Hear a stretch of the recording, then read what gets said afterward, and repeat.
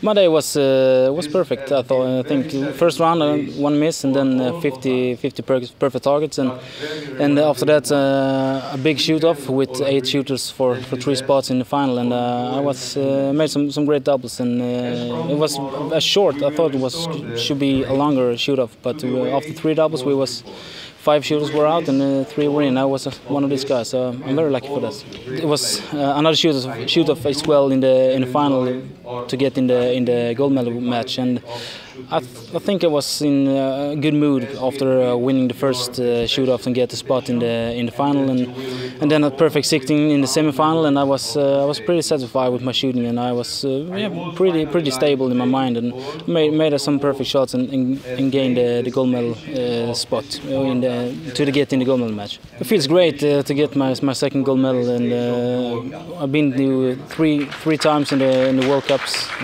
finally in the World Cups, and I won two of them and I got silver in, in Tucson, so it's perfect feeling, and I get very very strong uh, confidence when I get in the final because of my my records are in the final. So, but it's just to be.